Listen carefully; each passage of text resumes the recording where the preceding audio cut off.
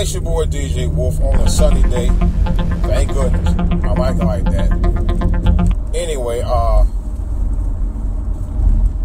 just had a couple of things on my mind. Um, I was uh was looking at uh, a couple of things. One on uh, the local news channel was talking about uh, Stephen Curry played for the Golden State Warriors, and he, he uh, little three-year-old daughter had wished him a happy birthday, and I thought it was so uh, fun yet touching because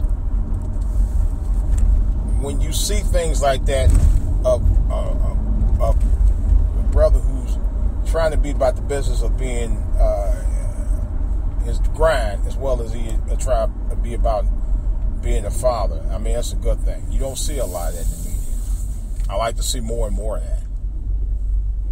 You know, I just had to bring that up. I, I thought that was very, very sweet. I really did.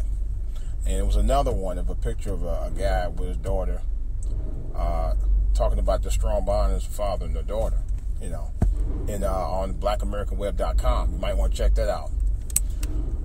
Um, because I think the media plays upon people's fears. There's no question about that.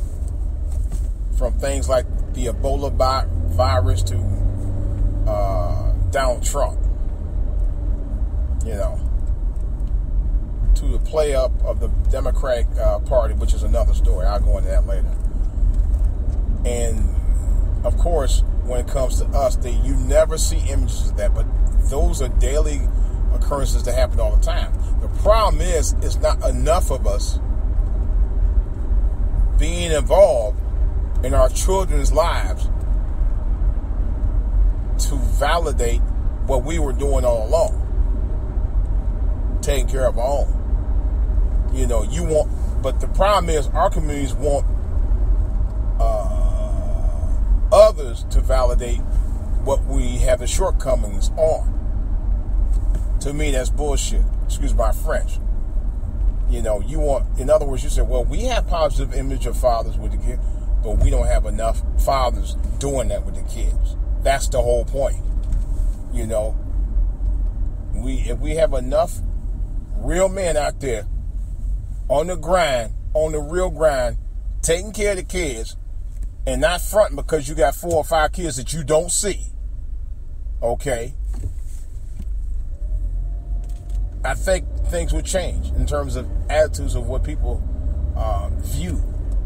But some of us wants to validate certain ones to say that represents everybody, and it don't. It don't. It's a lie. You know. Too many of these so-called men out here in communities aren't taking care of responsibilities. But by the same token, the same women who call those men out are the same women who allow these guys to go out there and do what they do without the women calling them to task and as well as the women not taking their responsibilities to take care of themselves and their bodies without not allowing every Tom and Dick and Harry to get with them all the time. When I say about all the time, I'm talking about uh, having multiple kids by different fathers. Okay, this is what goes on in our communities all the time. I got to call that out. But the thing of it is, I noticed that these some of these pro-blacks they call about what the government should be doing, but yet meantime you won't call about responsibilities that people should be doing in general. I never hear them say that. You know, I never hear him say anything about planned pregnancies. I never hear him say about teenagers to practice. I, I rarely hear that from pro blacks. I rarely hear that. You know. But I think personally, we need to do a better job of being responsible for our actions and going out there and getting education. I'm gonna tell you right now, and I don't care what anybody say. Education is the key. It is the key. I don't give a damn what anybody say. It's the only way. In 2016, there is no reason, and I repeat, there is no reason for our young people not to be educated today. You know?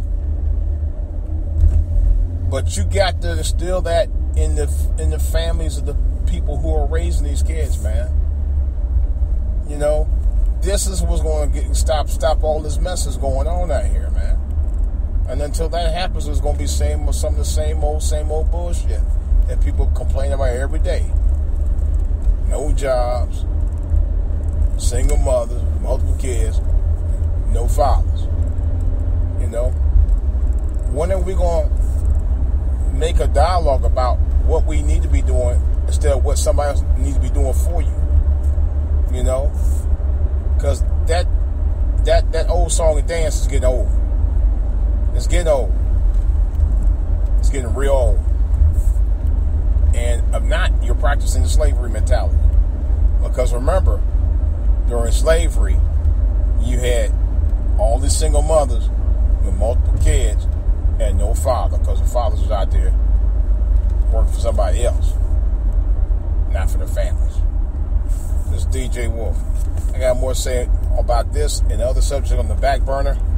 I may do the show tonight. Um, got other couple things I got to take care of, but it's DJ Wolf.